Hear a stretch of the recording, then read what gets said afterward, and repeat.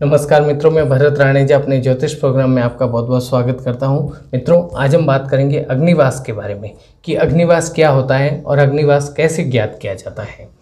मित्रों, जब अग्निवास पृथ्वी पर हो, अग्निवास पृथ्वी लोक पर होता है, स्वर्ग लोक में होता है और पाताल लोक में होता है। तो अग्निवास जब पृथ्वी लोक पर होता है, उस समय हवन किया जाए तो उसके पुण्य का फल हमें मिलता है। और अग्निवास अगर स्वर्गलोक में हो या पाताल लोक में हो तो उस समय अगर हम हवन करेंगे तो हमें पुण्य फल नहीं मिलेंगे।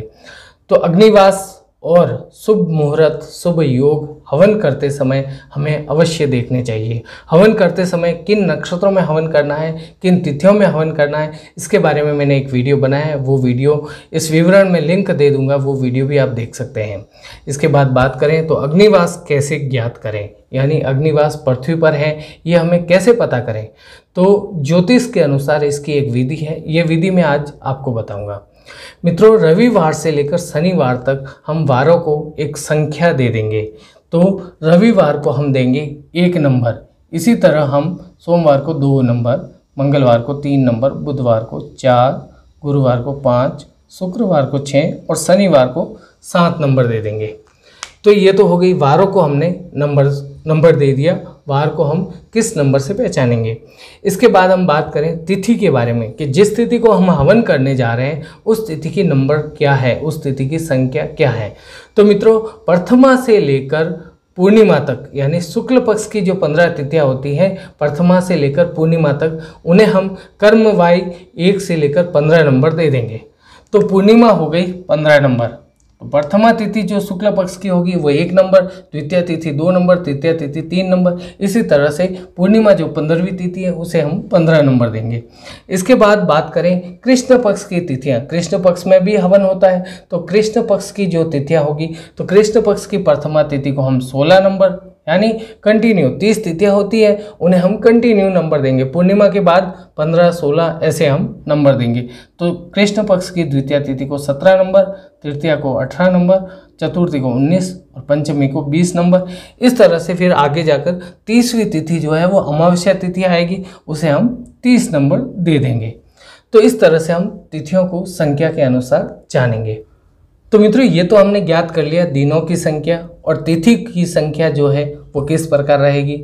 इसके बाद में हमें जिस तिथि को हवन करना है, उस दिन का अग्निवास ज्ञात करना है। तो द्वितीय तिथि हम लेते हैं। कृष्ण पक्ष की द्वितीय तिथि अगर हम लेते हैं तो उसका नंबर जो है, वो सत्रह नंबर है। तो हम यहाँ पर सत्रह नंबर लिखेंगे। फिर जो भी तिथि का नंबर है, उसमें हम एक ऐड कर देंगे, एक जोड़ देंगे। तो यहाँ पर टोटल आएगा अठारह नंबर। फिर ये जो नंबर आया, उसमें हम वार की संख्या जोड़ेंगे, दिन की संख्या जोड़ेंगे। तो अठारह नंबर में हम दिन की संख्या, मान लीजिए कि हम बुधवार को हवन कर रहे हैं तो यहाँ पर हम चार नंबर जोड़ेंगे तो यहाँ पर टोटल आएगा बाईस नंबर। मित्रों, समझ गए होंगे कि पहले हमें तिथि की संख्या लेनी है, उसमें फिर हमें एक नंबर जोड़ना है। कोई भी तिथि हो, उसमें हमें एक नंबर जोड़ना है। फिर जो टोटल आए, उसमें दिन की संख्या जोड़नी है। यानी दिन अगर मंगलवार होता तो तीन नंबर लिखता तो बुधवार को हम हवन कर रहे हैं और द्वितीय तिथि है कृष्ण पक्ष की तो यहाँ पर हमने चार लिखा। तो ऐसे में टोटल आया ट्वेंटी टू अब ट्वेंटी टू यानी बाईस में हम चार का भाग देंगे। कोई भी टोटल आए, हमें भाग है ना चार का देना है। उसमें, उस संख्या में चार का भाग देना है। उसको, उस संख्या को चार से डिवाइड करना है। तो यहाँ पर हम चार से डिवाइड करेंगे ट्वेंटी टू को, यहाँ पर आया पाँच। तो इस तरह से यहाँ पर दो नंबर शेष रहेगा। तो मित्रों, अग्निवास में ऐसा माना जाता है कि जब हम, जो संख्या आ रही है, उसमें चार का भाग देंगे तो अगर दो नंबर आता है या फिर एक नंबर आता है, यानी दो शेष रहता है या एक शेष रहता है तो ऐसे में अग्निवास जो है वो पाताल में या स्वर्ग में है। तो ऐसे में हवन जो है वो नहीं किया जा सकता है। अगर यहाँ पर शेष ज़ीरो या तीन नंबर आता तो अग्निवास जो है वो पृथ्वी पर होता तो हम हवन कर सकते हैं। तो मित्रों, इस तरह से अग्निवास ज्ञात करेंगे। मैंने जो आपको सूत्र के अनुसार जानकारी दी, आपको अवश्य समझ में आई होगी और मेरे द्वारा दी गई जानकारी आपको अवश्य पसंद आई होगी। वीडियो को लाइक करना, अपने मित्रों के साथ शेयर करना। फिर मिलेंगे नई जानकारी के साथ। धन्यवाद।